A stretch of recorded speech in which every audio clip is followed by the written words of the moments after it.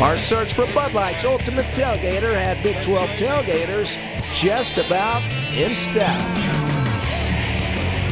Everyone feeling good, especially those Longhorn tailgaters.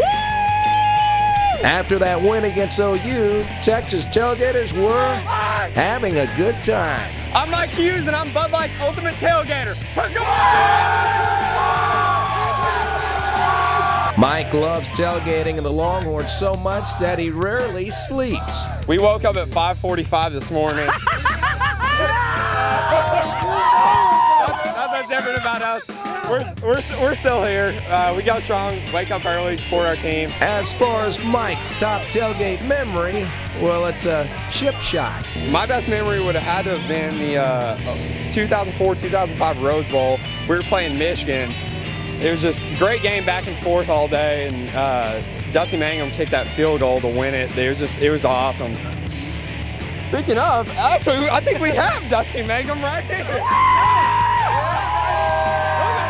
Mike and a lot of the Longhorn fans do remember the kick against Michigan by Dusty in the Rose Bowl. On this day, though, Dusty, who tailgated with Mike, tries to recreate that Rose Bowl memory. Here we go.